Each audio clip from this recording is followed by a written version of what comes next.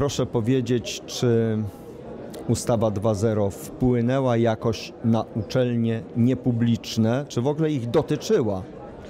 Konstytucja dla nauki i ostatni rok naszej aktywności we wszystkich uczelniach niepublicznych i publicznych, we wszystkich uczelniach e, w Polsce zmieniła bardzo dużo. W sektorze, którym reprezentuję, e, Akademia WSB, a zatem w sektorze uczelni niepublicznych te zmiany były potężne.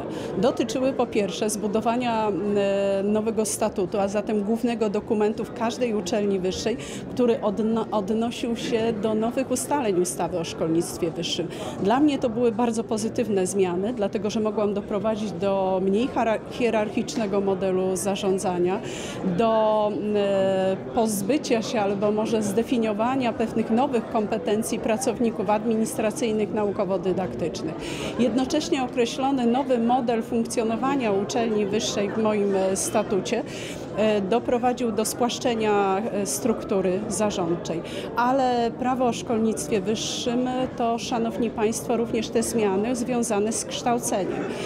Większe przywiązywanie wagi do kształcenia dualnego, wprowadzenie kierunków kształcenia, to wreszcie potężna praca w minionym roku akademickim nad uruchomieniem szkoły doktorskiej.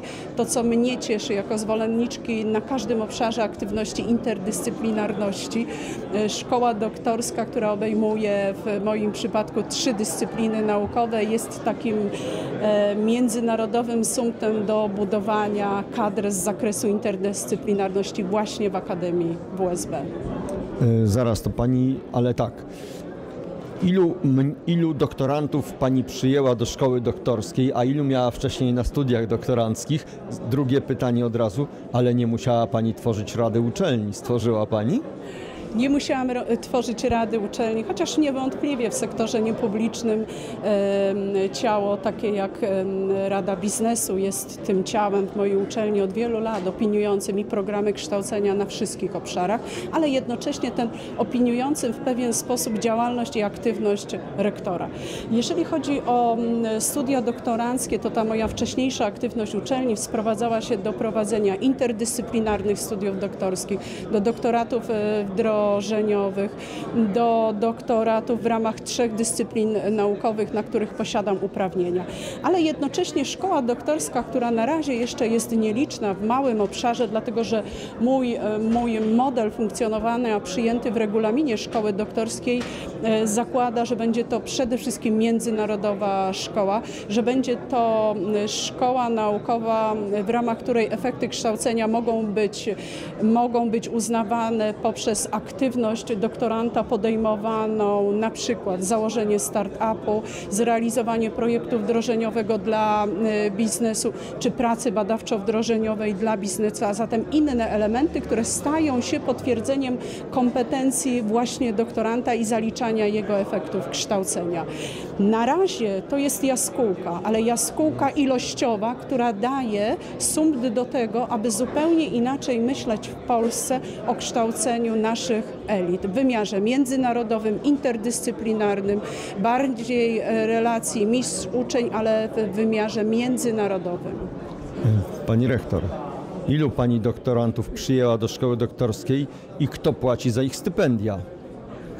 Jest to na razie nieliczna grupa, bo składająca się z, z, kilku, z kilku studentów. Za stypendia y, płaci uczelnia i taka jest prawda. Owszem, ale ja traktuję to jako inwestycję w moją kadrę. Dobrze zrekrutowani na rynku międzynarodowym doktoranci y, mogą się y, stać doskonałym zapleczem budowania międzynarodowej również, budowania i rozwoju kadry międzynarodowej dla tej uczelni, którą reprezentuję nastąpił pewien paradoks. Mianowicie to nie, uczel, nie ustawa najbardziej wpłynęła na uczelnie niepubliczne, tylko algorytm przyznawania pieniędzy szkołom wyższym publicznym. Mianowicie ograniczenie a, współczynnika stu, liczby studentów do liczby pracowników do 13 studentów na pracownika. Na tym skorzystaliście Państwo. Ilu więcej studentów Pani przyjęła w tym roku?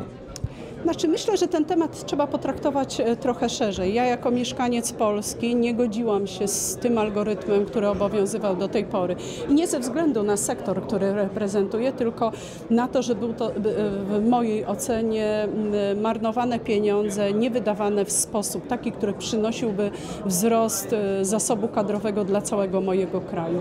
Nie wiem, czy akurat ta konkluzja wyartykułowana przez Pana jest szczególną przesłanką do tego, bo ta rekrutacja u mnie jest na takim samym e, poziomie.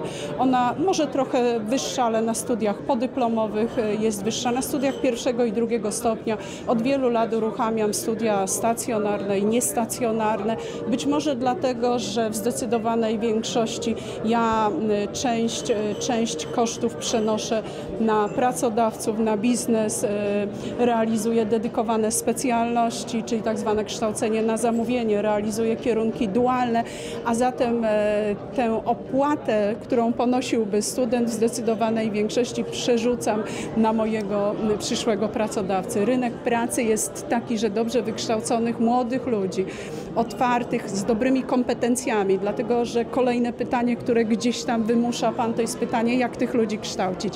Jak kształcić w tych czasach, kiedy jest tak potężny przyrost wiedzy. W XX, XX wieku w ciągu tygodnia powstawało 100 nowych publikacji naukowych, teraz w ciągu, e, w ciągu tam kilku dni powstaje, za, za badania pokazują za kilkanaście czy za dekadę w ciągu minuty będzie powstawać. Przyrost wiedzy jest tak potężny, przyrost patentów na świecie, że nie jesteśmy w stanie przygotowywać dobrze. A zatem wiedza się dezaktualizuje w mojej ocenie, ale kompetencje wyuczone przez moich absolwentów e, są w łatwy sposób do wykorzystania, zważywszy na różne realia w rzeczywistości społeczno-gospodarczej.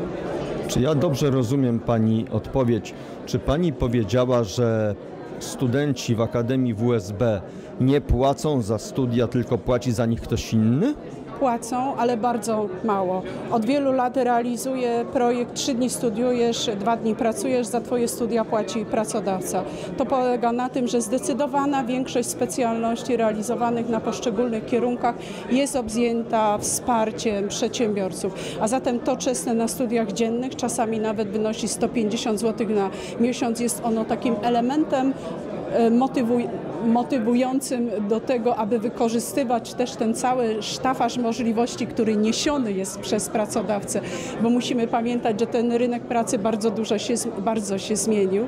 I jest e, szalenie zmienny. Wiemy też, że to kształcenie takie długofalowe 3 plus 2 lata odchodzi w przeszłość, że będziemy zdobywać nowe kompetencje poprzez certyfikację swoich umiejętności na krótkich kursach i wyzwaniem każdej uczelni wyższej również takiej jak moja, jest przygotowywanie się do nowego procesu kształcenia, do automatyzacji, sztucznej inteligencji, krótszych form kształcenia. Jest bardzo ciekawa, ciekawa wypowiedź, ale jeszcze chcę zapytać o jedną rzecz.